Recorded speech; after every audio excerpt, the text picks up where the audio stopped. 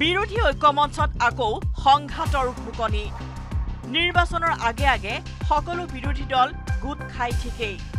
কিন্তু নিৰ্বাচন পাৰ হলেই কংগ্ৰেছৰ বাবে সহযোগী ৰাজনৈতিক দল হৈ পৰে ডিছপজেবল ইউজ এণ্ড থ্ৰ খং ক্ষোভত আকৌ এবাৰ বিগ ব্ৰাদাৰ কংগ্ৰেছৰ ওপৰত অসন্তুষ্টি দেখুৱালে অখিল গগৈয়ে। আৰু আপোনালোকে সকলোবিলাকে খালি অমৃত আপোনালোকে খালি অমৃত খাব। একেলগতে আমি ধান ৰুম একেলগতে আমি ধান কাটিম একেলগতে আমি ভাত বনাম আৰু ভাতখিনি খোৱাৰ পাছত অকল কংগ্ৰেছে ভাতখিনি খাই পাব এইটো নীতিটো কেতিয়াও ভাল কথা নহয়।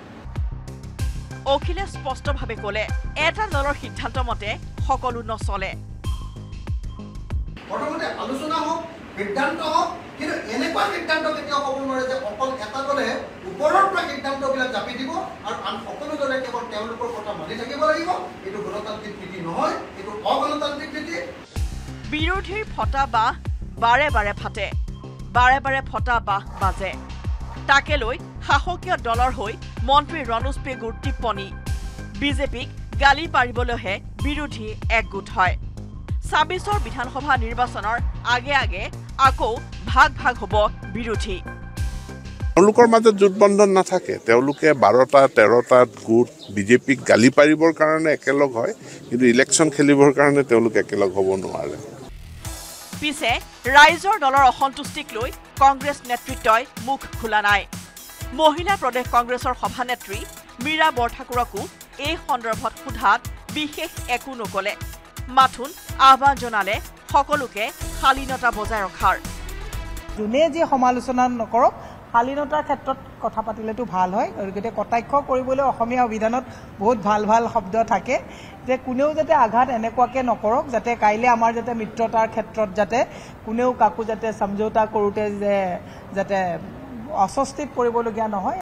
ইফালে আগন্তুক উপ নিৰ্বাচনত বঙাইগাঁৱত অগপৰ বিৰুদ্ধে ৰাইজৰ দলে যুঁজিবলৈ ইচ্ছা প্ৰকাশ কৰিছিল। অখিল গগৈৰ দাবী বঙাইগাঁৱত কংগ্ৰেছ জিকিব নোৱাৰে। কিন্তু লগে লগে অখিলৰ প্ৰস্তাৱত জাঙুৰ খাই উঠিছে বঙাইগাঁও কংগ্ৰেছ। আনকি বিগত লোকসভা নিৰ্বাচনত ৰাইজৰ দলৰ সমৰ্থনক লৈও কংগ্ৰেছে তুলিলে প্ৰশ্ন। মুঠতে বঙাইগাঁও আসনখনত যুঁজিবলৈ এক প্ৰকাৰ আকুৰ গোজ বঙাইগাঁও কংগ্ৰেছ। বঙাইগাঁৱত আমি অন্য ৰাজনৈতিক দলক এই চিটটো এৰি দিয়াৰ কোনো মত নাথাকে। আৰু আমি ইয়াত নিৰ্বাচন খেলিম এইটো আমাৰ আমাৰ ফালৰ পৰা দাবী।